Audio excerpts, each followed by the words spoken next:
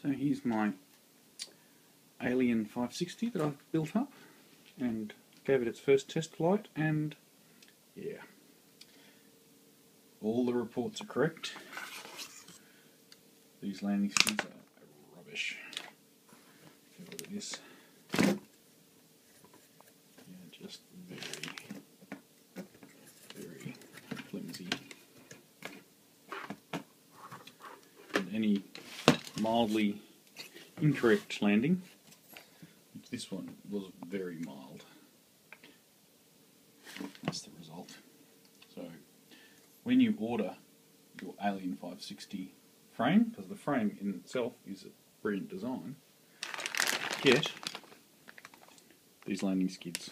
I've actually ordered two because I want two of the bottom cross struts. So I'll probably show you that when I've finished building it up. I've got the old KK 2.1 on there. I've got this one, the new KK 2.1 case version, the external.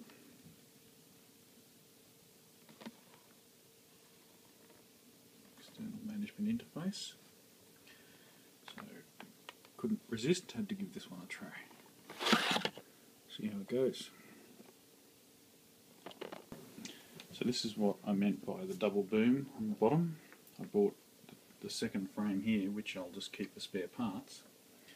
But the second, the bottom boom part makes this now a really stable frame.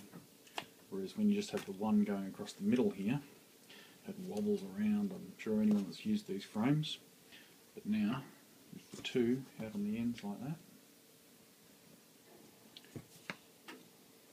gives a really good solid frame. So how I'm going to do this is just a bit of double-sided tape, place it down onto the frame centrally, and uh, then a few cable ties to hold it in place. I found this works really well on other frames. This one's got lots of nice holes to put the cable ties on to hold it in place. The double-sided tape just keeps it all nice and firm and gives a bit of extra vibration,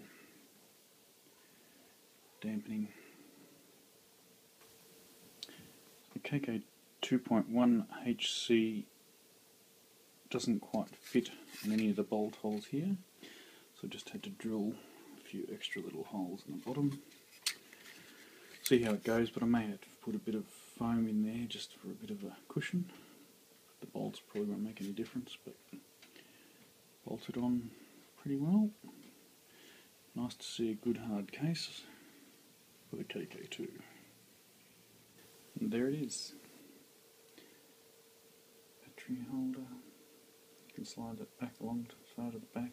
Bit of balance required.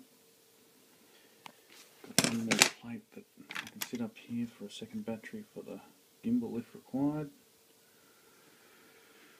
And uh, good to put it all back together.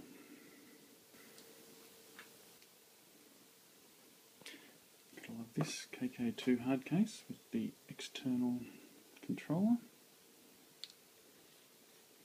So you can set it all up and unplug it to fly. Brilliant. Some very clever people out